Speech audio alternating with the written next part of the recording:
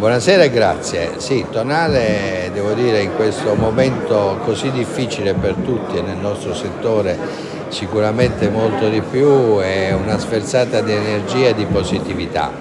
Con questa bellissima auto che anch'essa ha avuto dei ritardi di uscita proprio a causa Covid, eh, microchip e quant'altro.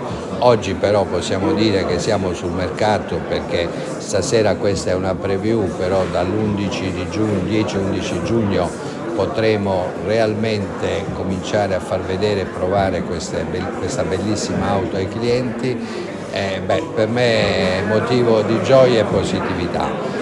Il marchio Alfa Romeo con quest'auto torna sul mercato con un programma anche di prodotti futuri ed è l'inizio anche dell'elettrificazione di Alfa Romeo perché questa è la prima auto che appunto è un mild hybrid.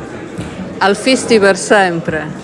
Alfisti per sempre, dobbiamo essere onesti, li abbiamo un po' abbandonati in questi anni, però siamo fiduciosi di poterli riconquistare, ma più che altro di riconquistare i figli degli alfisti che sicuramente hanno sentito parlare molto di questo prestigioso marchio fantastico sportivo che ha dato tante emozioni sia nella guida normale che nelle attività sportive, d'altronde lo stiamo vedendo in Formula 1 che dopo solo due anni comincia ad avere dei risultati positivi, quindi molto fiduciosi.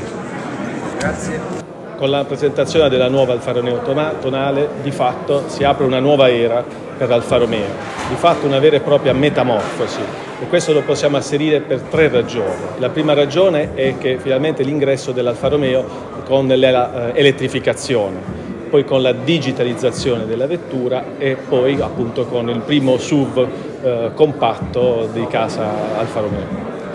Per quel che riguarda l'elettrificazione, uh, la vettura è dotata di un nuovo motore mild hybrid 1500 turbo benzina con un uh, cambio automatico a 7 rapporti integrato con un motore da 48 volt ed è questa in assoluto la novità per la, la, casa, per la nuova Alfa Romeo Tonale, da 130 e da 160 cavalli. Poi entro l'anno avremo anche la motorizzazione diesel 1600 da 130 cavalli e la motorizzazione FEV con uh, un 1300 eh, benzina con 275 cavalli.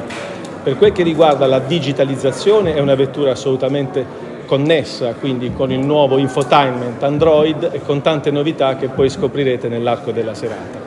Per quel che riguarda la nuova linea mantiene sempre il DNA di Alfa Romeo, ma soprattutto c'è sempre un richiamo tra il passato e quello che appunto sarà il futuro dell'auto.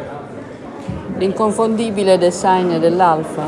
Assolutamente sì, troviamo dei richiami meravigliosi, oserei dire, per quel che riguarda la GT Line, modello del 1970 e quando vedrete la vettura all'interno il classico cruscotto a cannocchiale, quindi assolutamente richiami al passato ma con nuove tecnologie e soprattutto sostenibilità. Il mercato internazionale è sempre eh, molto interessato a questo, vero? Assolutamente, come vi ho detto questa è una metamorfosi, quindi di fatto è una rinascita del marchio Alfa Romeo, quindi oltre alle nostre bellissime vetture attuali che sono Stelvio e Giulia, si unisce questa nuova vettura di segmento C, quindi in un mercato importante, quindi Alfa Romeo ha lanciato di fatto la sfida a tutti quanti i competitor.